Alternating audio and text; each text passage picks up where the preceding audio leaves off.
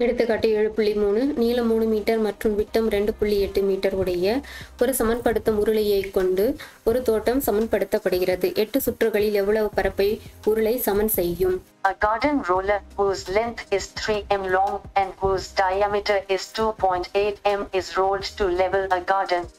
How much area will it cover in eight revolutions? ஓ சமன்படுத்தும் உருளைன்னும் போது road roller தாங்க சொல்றாங்க. அது இந்த வடிவத்துல தான் இருக்கும்.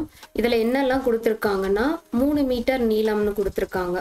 அதாவது இதுதான் அந்த மூணு மீட்டர் இதோட நீளம்னாக்கா உயரம் மூணு மீட்டர் அப்படின்னு நீங்க எடுத்துக்கலாம். விட்டம் ரெண்டு புள்ளி எட்டு மீட்டர்னு சொல்லியிருக்காங்க. விட்டமே கொடுத்துருந்தாலும் நம்ம ஆரம் தான் எடுத்துக்கணும்.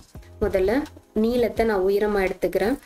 உயரம் மூணு மீட்டர் அடுத்து விட்டம் கொடுத்துருக்காங்க. விட்டம் ரெண்டு புள்ளி எட்டு மீட்டர். அப்போ அதுல பாதி தான் ஆரம். ரெண்டு புள்ளி எட்டுல பாதி ஒன்று புள்ளி நாலு மீட்டர். அப்போ இதோட ஆரம் ஒன்று புள்ளி நாலு மீட்டர். அந்த உருளை ஒரு முறை சமன்படுத்தும் போது எவ்வளோ பரப்பை சமப்படுத்துது அப்படின்னு கண்டுபிடிச்சு அதை எட்டால பெருக்கணும்னாக்கா முழு பரப்பையும் நம்மால சொல்ல முடியும். உருளை ஒரு சுற்றில் சமன் செய்யும் பரப்பு என்பது உருளையோட வலைபரப்புக்கு சமம். எனவே அந்த வலைபரப்பு எவ்வளோன்னு கண்டுபிடிப்போம்.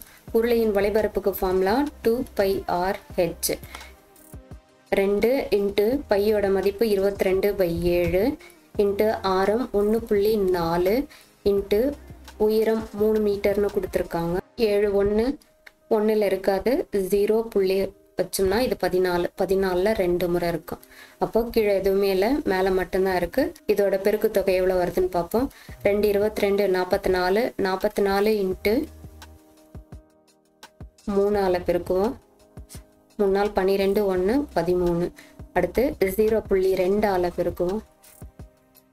ரெண்டு ரெண்டு நாலு ரெண்டு மூணு ஆறு ரெண்டு ஒன்று ரெண்டு. ஒரு ஸ்தானம் தள்ளி இங்கே புள்ளி வச்சிருங்க. அப்போ இருபத்தி ஆறு புள்ளி நாலு இருபத்தி ஆறு புள்ளி நாலு சதுர மீட்டர். அந்த உருளை ஒரு சுற்றுல இருபத்தி ஆறு புள்ளி நாலு சதுர மீட்டர் அளவுக்கு சமன் செய்ய முடியும். இது மாதிரி எட்டு சுற்றுகள்னா இந்த பரப்பு எட்டால பிறகுனால போதும். அது சமன் செய்த பரப்பளவு சொல்லலாம்.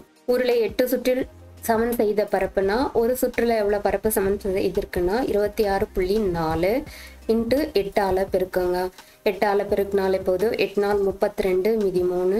எட்டாறு நாற்பத்தெட்டு ஒரு மூணு ஐம்பத்தி ஒன்று மீதி ஐந்து எட்டு ரெண்டு பதினாறு ஒரு ஐந்தும் இருபத்தி ஒன்று ஒரு ஸ்தானம் தள்ளி புள்ளி வச்சிருங்க.